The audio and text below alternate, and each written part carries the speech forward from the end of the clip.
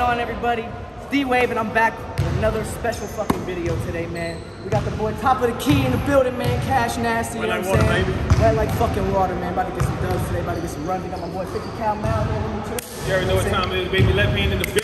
It's time to get some dubs, baby. Yes, sir, You man. can't wait out here for nothing, huh? Hey, man, I'm All from right. Pittsburgh to Louisiana, man. Come out here and get a fucking Bro, dub, how long man. was that? How long was that, That's that trip, long bro? flight. Hey, I ain't gonna lie, bro. What? It was two flights. So the one was from Pittsburgh to Charlotte. That was like an hour. And the second one was from Charlotte to here. which was like two hours. That's not that bad. Yeah, that's what I'm saying. Ain't that bad, like About, a meter count, huh? Yeah. but the layover in Charlotte was like two hours. You have to sit That down. one hurts. Yeah, that's what I'm saying. That's, in the airport before. hey, but you know what I'm Yeah. saying? But it's fucking worth it, man. Let's come out here and the boy top of the key, man. You know what I'm saying? Live in the flesh, man. You know what I'm saying? We about to get these runs in, get some dubs. No L's today, bro. No L's. We'll try. No L's? Oh, God. Well, try harder. Oh, God, no Try L's. harder, bro. Let's get it, bro. Hey. We'll get right into it. Get into the first game. Let's go. Bop.